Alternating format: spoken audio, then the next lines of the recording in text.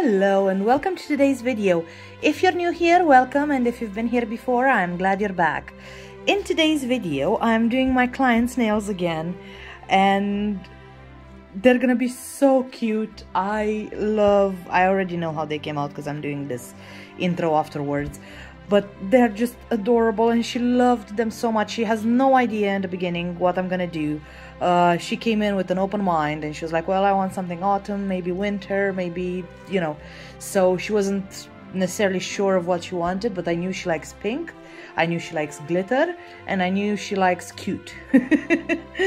so I ended up com combining everything into one set and I, you already know probably how they look because again, you've seen them, but oh my god, they're adorable. I love them so much. And uh, yeah, I'm not gonna go through the whole prep work again i'm just gonna show you removing them because i find that really satisfying to watch so I'm going to show you a little bit of that and then I'm going to show you how much we actually cut off her nails because they're so long, they're her natural nails and she just couldn't deal with them anymore. Last time she actually left the length just because of me and because I wanted to do like Halloween designs on them. So yeah, anyway, uh, I really hope you're gonna enjoy today's video. If you do, give it a thumbs up, leave a comment down below, tell me how I did. And if you wanna see more of my videos, make sure you subscribe with the notification bell on so then you know when I post. Um, anyway, with all of that said, let's do some nails. So I decided to show you guys again the removal process because to be honest I find it very very satisfying. I if you want to know what I'm using for the removal and the prep and everything I have a video uh, on the nails that she's wearing right now so it's like Halloween watch me work uh, which is a few videos back but otherwise I am just going to show you how to like how I remove them again because oh my god look at that satisfaction. Also you're not gonna see me working a lot on the thumbnail on this hand that I'm working on now um, because uh, that was a casualty. She actually broke it a couple of days before so we were both sad about it. We cried a little bit but then we decided there's nothing we can do about it. She doesn't want any hard gel or uh, acrylic or anything, so we're just gonna let it grow because her nails grow amazingly. And by the way, uh, she's an actual hero because she let me last time keep the length and then here you see the tragedy we had to cut them down because they were way too long for her right now um, so I'm showing you how I quickly just chopped them off it was so sad. It was such a sad day for me to cut these because they were so amazing. But yeah, you see me showing you this thumb, but I'm not showing the other thumb because, again, the other thumb was, you know. Anyway, shaped them, that's how they looked. Uh, then I'm gonna go in with that Vettsy 006 diamond gel and then from Kirsty Meakin I'm going in with Cotton Candy, Ruth, Summer, and come on, Kurt um, and Swanky. Okay, alright, so I already prepped these nails. I filed them into a shape. As you can see, I've um, applied a base coat. Also, I, I need to keep that in mind and then I'm gonna go in with that glitter all over the nails except for the pointer finger. And I also applied this glitter on the thumbs. Again I'm not gonna show you how I applied the glitter on the thumb because it's the same thing. I'm applying glitter to nail. It's it's nothing too well it's it's magical but it's not not not something that you'd like to see. Um, anyway again I'm going back in with the second coat. I am curing obviously the coats in between for 30 seconds and I put all of those uh, gel polishes that I said earlier in on the on a palette and then I'm gonna go in with this brush from Ink London and then the, de the middle, middle detailer which I'm using right here from uh, Glitterbels and then they have like this pointy thicker brush uh, as well in their I think gel uh, brush collections and I started with that cotton candy and I am just going on the side of this nail and just creating this thing, whatever this is. um, and I'll cure the first layer and because it's a pink and it has quite a dark glitter underneath I'm going with the second coat just to avoid any shadowing or anything just because again it's a pink and the pinks are quite hard to get properly pigmented especially over a darker color. Um, then I'm starting to create my plaid kind of thing. Plaid? Yeah I would say plaid. Um, and I am just gonna go in between the colors and I'm gonna make thicker lines uh, and thinner lines. I'm not actually following anything, I'm just kind of doing whatever I feel like doing. Um, also, very important when you're doing plaid, try to make the lines even and straight as much as you can.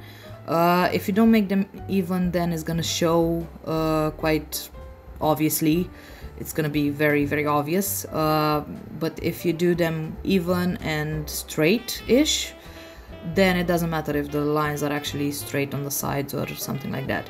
Then here I moved on to the other nail to show you this pink because I completely forgot to press record when I've done the other one, but we're gonna go back to the other one just so we have like a, you know,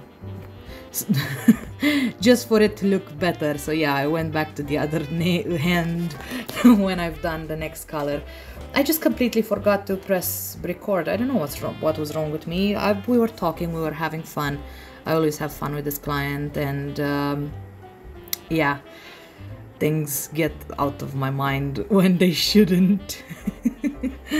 um, you can obviously create this design with any color palette. I just she came in and she had no idea what she wanted and all I know, well, not all I know, I know more, but uh, the most important things that I know about her is the fact that she likes nudes, she likes pinks, and she likes glitter. Anything sparkly, anything, uh, you know, cute, and yeah, she loves it. So um, that's why I went with like a pink uh, kind of plaid. And I added the gray and the nude there just to like break out that color a bit just to not be just too pink. And then here I'm adding some lines of white over the whole thing uh, just to create a bit more like different texture and to break down a little bit the colors you know especially where there was pink on top of pink um, I just wanted to emphasize the fact that there are two colors there, just not just one. Uh, so yeah, I'm I'm bringing that white in. It's it's really really really great because it adds a lot of detail on it, and um, again, it doesn't have to be perfect as you you see right now. It's it's not perfect at all, but it's cute at the end, in my opinion, anyway. Uh, then I'm gonna go in on the middle finger and that's it with the glossy top coat. So I'm using the Kirsty Meakin top coat here. And I will cure this for 60 seconds. Then I'm gonna use this uh, no wipe gel paint from Ink London. And because it's very, very thick and is gonna give me the texture that I want. So I am going to bring this in and create a little bit of a bow, kind of. Um, it might be a bit out of focus and I am very sorry about that. I was very, very um, concentrated on this bow and uh, also concentrated for her to not see it because she always looks even though I tell her not to. Yes, you do. I know she's gonna watch this. so yeah, I was concentrated to not let her look because uh, I knew she's gonna love this so much. So I wanted to like finish it first. Um, so I'm just creating two big uh, shapes, two big triangles with like a dot in the middle and then I'm adding some ribbon on the sides. I cured that and now I'm adding some of that texture that I was saying because this gel paint is perfect for any kind of texture because it just stays put it doesn't self level at all to be honest um, so I'm adding some of that texture for on the ribbon on the sides as well um, I'm adding it everywhere so just yeah I absolutely love how this nail turned up and she adored it like honestly I did not expect this from her like that um, reaction from her. then I'm going in with uh, glass slippers from Glitterbels.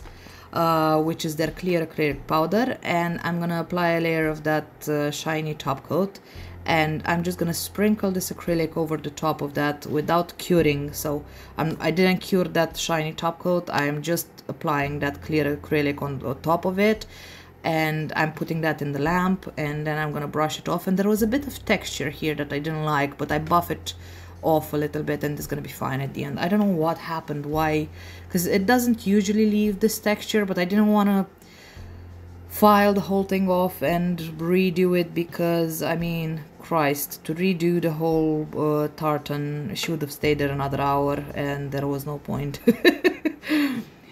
So uh, yeah I just buffed it off and it looked fine by the end and now I'm doing the same thing over the tartan part just because it looks like a fluffy blanket in my opinion. Like with that uh, acrylic it just softens everything. And just yeah I, I thought it created a like a blanket kind of um, look to it. Here again I'm a bit out of focus. I'm so sorry. I'm so bad at this. Um, like I'm normally bad but because I was trying to like do a client's nails and to film, it was even worse. Uh, but here I'm creating this like, I can't even say what shape that is. She kind of looked at it and she was very confused, uh, which was really awesome. And after I've applied that, I used Swanky to uh, create that. I put a layer of top coat, of shiny top coat, and then I'm going back in here with that um, white gel paint and I'm creating these little details and I'm going in between the, the brushes. So here I'm using the detailer brush and then I'm gonna go in and I'm gonna use the bigger brush just to drag it out to, to make a bit of uh, texture for the beard. She kept on looking at me. She was like, oh, is this a hat? Is this just a hat? Am I getting a cute Christmassy hat? was so funny. Um, so yeah, I'm just creating the that um, beard kind of texture. It doesn't have to be perfect. Uh, just you know, just saying I am going in. Make sure to go in uh, to the end of the nail and then cleaning the, the skin because I made a mess on the skin there and now I'm just like sprinkling some of that clear acrylic again over the top of this to make it nice and like textured. Uh, so I didn't cure the um, the little you know pom-pom on, on the top or the beard before I sprinkled that acrylic. Then after that is cured and I removed all the excess I am going in with the I think it's Kurt and I am just adding a nose. Just a you know like a little oval and then I'm going in with some top coat to protect that properly and just going very very gently around that nose and then I'm applying a layer of top coat on that pinky and then I've done the thumbs and then this whole thing is done um, and give everything a full cure and I'm absolutely in love with this set. I really hope you guys enjoyed it and I hope, you know, you're gonna try to recreate this.